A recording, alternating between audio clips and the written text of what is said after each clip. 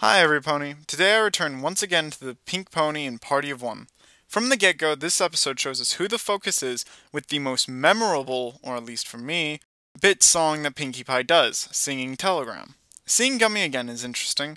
I remember not remembering Gummy when I first watched this episode. At the party, her friends are having fun, but of course, there's always something that makes a scene with Pinkie Pie a scene with Pinkie Pie. For Rainbow Dash and Applejack, bobbing for apples gets weird, with a ball the spring, and Gummy, well, gumming Rainbow Dash.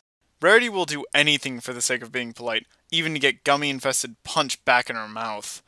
Twilight gets crucified, and Fluttershy cracks a wall when Pinkie joins them on the dance floor. Gummy is so cute wagging his wait a minute. Each of them had a bad experience with Pinkie at the party. So obvious and yet so well done it doesn't feel forced like normally. Every pony goes home properly tuckered out as Pinkie almost begs some pony to come back. The next afternoon gives us a bunch of this afternoon, this afternoon scenes. Each pony gives Pinkie a suitable excuse. Twilight needs to study, Applejack needs to pick apples, Rarity needs to wash her hair, and Rainbow Dash and Fluttershy need to house it. For Bear. His cave. While he's at the beach, playing seashells and collecting volleyballs. It's so crazy, it must be true. Right, Pinkie? Pinkie starts distrusting her friends and follows Twilight as she sneaks around with a mysterious package from Miss Cake. The package goes from Twilight to Rarity to Fluttershy, and the three of them seem to be playing spy. Oh, and Rarity picked it up in her tail!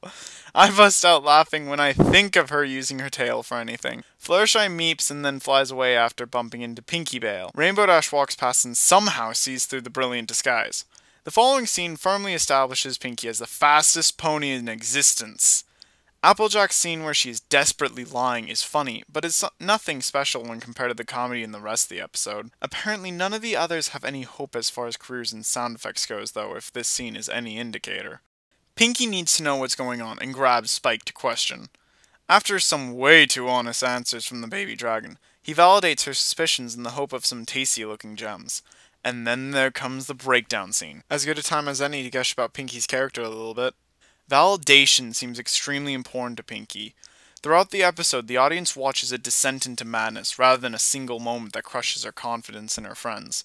She couldn't face what she was thinking, and although she was angry, she needed someone else to tell her what she suspected, or else it would always stay in the realm of suspicion. Once validated, she broke under the thought of her friends abandoning her. Even in the embrace of madness, though, she needed recognition, something the spiteful personas she gave various household items provided her with. Finally, Rainbow Dash arrives to interrupt her crazy party. She watches Pinkie and friends talk to each other, and angrily talking to her. Finally, she tries to talk Pinkie into leaving, and Pinkie shows how infectious her crazy energy is, even when it's more like the Kishin's madness wavelength rather than laughing gas. Leaving her argument with a pile of rocks alone, she drags Pinkie to the Apple family barn. Inside, her friends successfully dispel the dark spirit Pinkamena by explaining that Pinkie forgot about her own party. Her ability to bounce back feels right at home for Pinkie because she obviously doesn't like accusing her friends, or any pony, of being a bad pony. The moral wraps up saying you should always have faith in your friends. I like this moral, and believe you should always talk to your friends about problems or suspicions you're having. You shouldn't just let bad feelings sit between you and your friends as it did for Pinkie. Finally, I get do some fanboying. This episode hardly wasted a moment between character interaction and comedy, even having Twilight looking horrified as she watches Rarity drink the punch again. Four scenes rather than five was very refreshing, even though we still needed to see each of the other five interact with Pinkie. Finally, seeing the crazy scene from both Pinkie's perspective and how things were actually working made the scene get even creepier while being very tasteful. So, this is Line Space saying, I hope to be invited to a Pinkie Pie party.